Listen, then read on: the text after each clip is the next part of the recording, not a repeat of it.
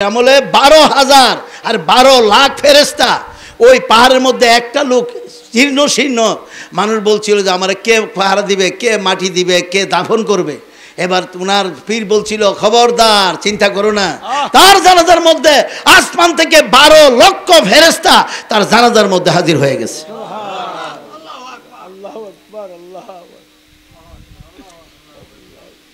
কি মনে করছেন বাজান? মানুষ কম বেশিটা দিয়ে খেয়াল করবে না। হাতি যদি বড় হয়, কুরবানিত লাগে? কথা বলেন না কেন? আবার হাতি বড় হলে কুরবানিত লাগেনি? বেশি মানুষ চায়েন না। আজকে এই লোকগুলি মার গর্ভ থেকে পৃথিবীতে আসতো। এই লোকগুলির একভাবে কলব বালা পরিষ্কার। এখন কেন খাসুল খাস মাহফিল আসে না? কলব পরিষ্কার না। কলবে ময়লা রেখেই মানুষ আসতে পারে না। কথা বুঝতে পারছেন? এবার কল পরিষ্কার হলো, মানুষ এখানের মধ্যে বসবে এবার জিকির দিলে এরকমভাবে জিকির দেওয়ার পরে আপনার কলবের মধ্যে একটা আয়না ফিট হবে। এই আয়নাটা দিয়া মদিনা আন্নাবিউ মিরাত আল্লাহ এই মুলুগ্রামের দরবারে বৈশা আমার নবীর আয়নাটা দিয়ে আপনি আল্লাহকে দেখতে পারবেন। আর নাবিউ মিরাত আল্লাহ আয়না বসাইয়া দেরে কলবের ভিতর। আমার আয়না বসাইয়া দেরে কলবের ভিতর মদিনারি কামলেওয়ালা আয়নার কারিগর। আরে মদিনারি কামলেওয়ালা আয়নার কারিগর। আয়না বসাইয়া দেরে কলবের বিম ইচ্ছা যদি করতে পারো, আয়না বসাইতে পারো, ইচ্ছা যদি করতে পারো, আয়না বসাইতে পারো সে আইনাতে দেখব মোরা সোনার মদিনা। ওরে সে আইনাতে দেখব মোরা সোনার মদিনা। আমার আয়না বসাইয়া তেরে কলবের বিপ আমার আয়না বসাইয়া দেরে কলবের ভিতর। মদিনারি কামলেওয়ালা আয়নার কারিগর, মদিনারি কামলেওয়ালা আয়নার কারিগর। আরে আয়না বসাইয়া দেরে কলবের ভিতর।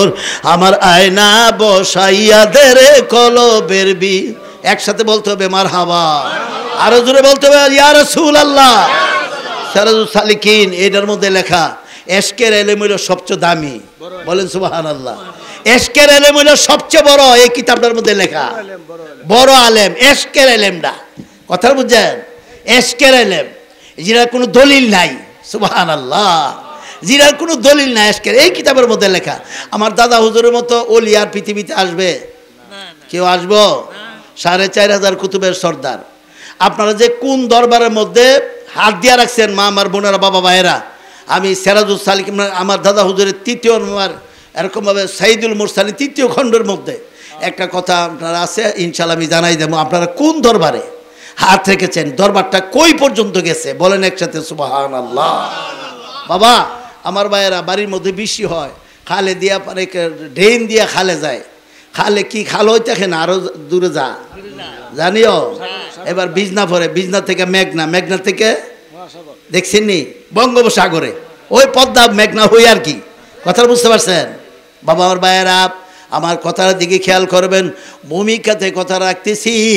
আমরা যেরকমভাবে বারো লক্ষ ফেরেস্তা যদি আল্লাহর অলি এরকমভাবে জানাজার মধ্যে হাজির হইতে পারে, একটা লোকে যায় বলছেন আমার সারের মতো লোকে আরে এই ছেলেটা পাহাড়ের উপরে কি খাইবো, কি অপলাম হঠাৎ করে ডান দিকে নজর করল, দেখল একটা ব্যাগের ভিতরে কয়ে ব্যাগটা কে আনছে। কয়, বলতে পারি না।